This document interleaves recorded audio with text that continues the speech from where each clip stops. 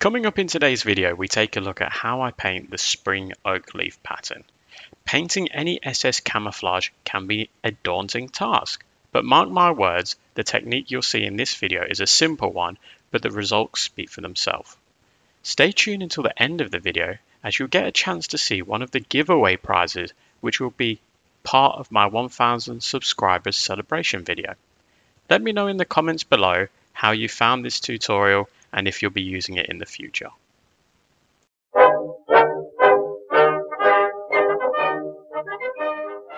Okay, so we've painted oak leaf for autumn and fall. Now we're going to paint it for spring and summer. So to start off with, I'm using German Camo Black Brown from Vallejo. And then I'm going to be painting the areas of the uniform uh, that are going to be in oak leaf in mud brown. So if you had a helmet cover on, I'd be painting that in mud brown, trousers, uh, etc. It's really up to you uh, what areas of the uniform you want to be in this oak leaf colour. Be quite generous here. Naturally, if the paint looks like it's starting to dry super quickly, don't be coating it on. Try and thin that paint down because if the paint is thick and it's starting to build up, then you're going to lose some of those really finer details that are the difference between like your average miniature and your really nice miniature.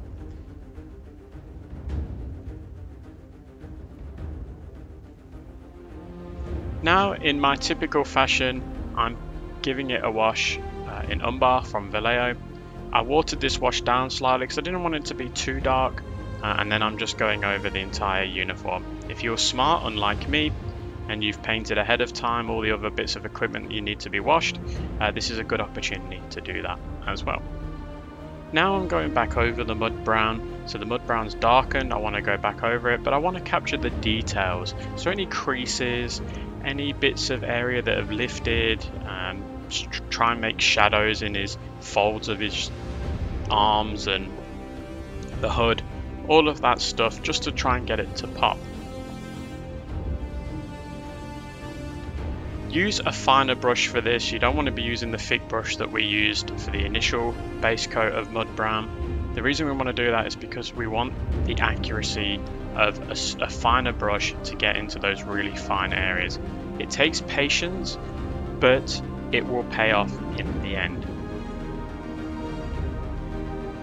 Now we can move on to the fun part. So we're going with black green. This is going to be giving us the initial dark green part of the oak leaf pattern.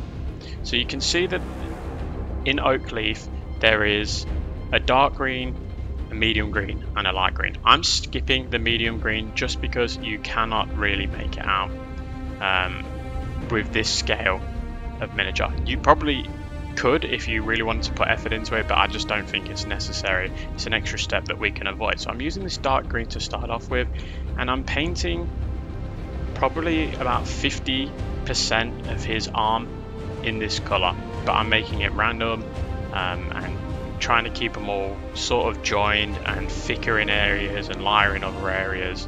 Um, sort of use reference material off Google uh, or if you've got books, etc. They can come in really handy. I'm also painting little green dots. So I'm making the green dots different sizes. I'm just painting the odd few. I'm not covering the whole thing in it. Just a couple of dots here and there just to show that it's broken off and then now I'm moving on to Golden Olive. Again, it's from AK Interactive. This is going to be for that really bright green color.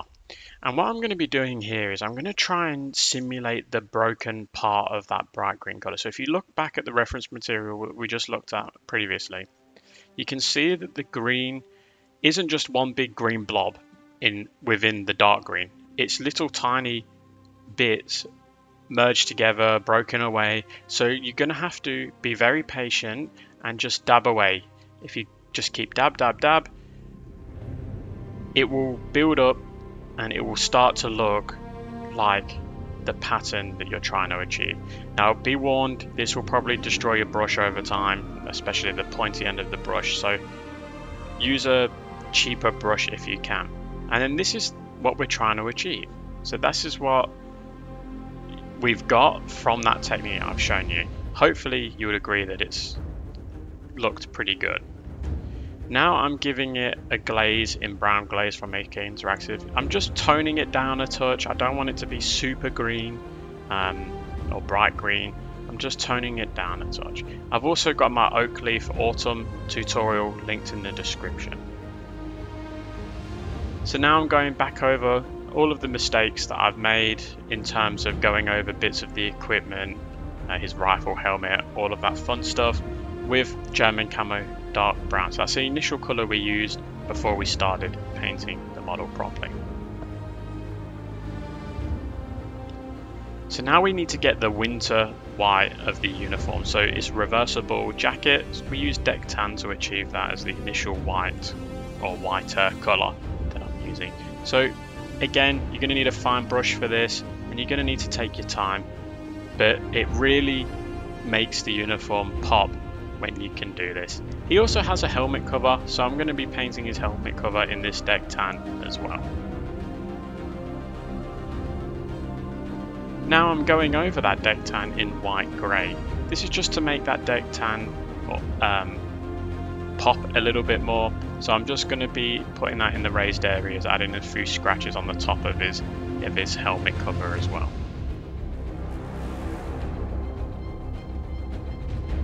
And there we go. So that's what it should look like uh, once we've finished the uniform and we're ready to move on to his equipment. And just finally, I forgot to add in the reddish grey. So this is just for his buttons and the uniform. And then there we go. So there they are all finished. Um, I think it came out really well. I was really happy with the results. Let me know in the comments what you thought of the results. Um, but also, I mentioned at the start in the intro that I'm doing a giveaway. I've reached a thousand subscribers, so I'm going to be having a giveaway. There's going to be free prizes to win. The main prize is what you're seeing right now. So there's going to be a 10 man platoon of German winter infantry. So if you've seen the series that I've done so far, you would know that these have featured in all of them. So that's what you're going to win. That's the main prize, that's first prize. Um, but you're going to have to stay tuned for that. I'm going to have an announcement sometime next week and we're going to go through the prizes, discuss a little bit about the future of the channel and all of that fun stuff. So if you're interested in all of that, I really recommend you subscribe, um, leave a comment down below, and I'll catch you guys at the next one.